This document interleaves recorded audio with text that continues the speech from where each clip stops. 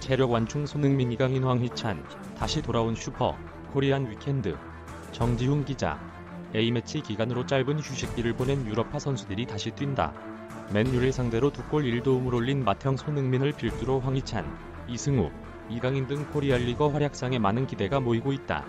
이들의 경기는 온라인 스포츠 플랫폼 스포티비 나우가 생중계하며 하이라이트 또한 회원 누구나 무료로 볼 수 있도록 가장 빠르게 제공한다.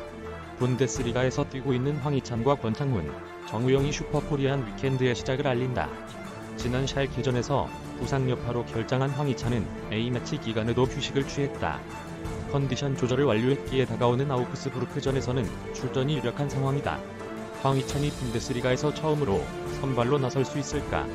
아우크스부르크와 라이프치히의 경기는 오는 17일 토요일 밤 10시 20분에 펼쳐진다. 같은 시간 권창훈과 정우영이 속한 프라이부르크는 베르더 브레멘과 맞붙는다.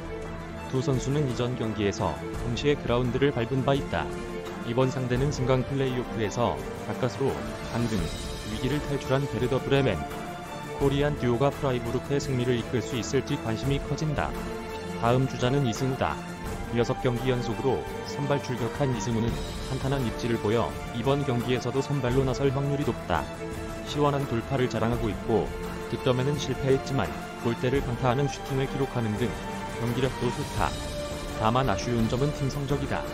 신트트라 위더는 1라운드 승리 이후 7경기 연속 무승을 기록 중이다. 베어쇼트와 신트트라 위던의 경기는 오는 18일 일요일 새벽 1시 20분에 열린다. 라리가 유망주 베스트 11에 이름을 올린 이강인도 출전을 앞두고 있다. 이번 경기에는 미니 한일전이 예정되어 있다. 일본 신성 쿠보가 뛰고 있는 비아레알과 만나게 된 것. 이강인과 쿠보의 미니 한일전이 성사될지 이목이 집중된다. 두 선수는 지난 8월 프리시즌에서 맞붙은 바 있다. 당시에는 발렌시아가 승리하며 이강인이 판정승을 거뒀다. 비아레알과 발렌시아의 경기는 오는 18일 일요일 밤 10시 50분이다. 슈퍼 코리안 위켄드의 마지막은 손흥민이 장식한다. 메뉴전 맹활약으로 팀의 대승을 이끌었기에 손흥민에 대한 팬들의 기대는 어느 때보다 높다. 손흥민은 A매치 기간에 경기를 치르지 않고 영국에서 휴식을 취했다. 긴 휴식 뒤에는 항상 멋진 골을 넣었던 손흥민이 웨스트햄을 상대로 두 경기 연속 골을 넣을 수 있을까?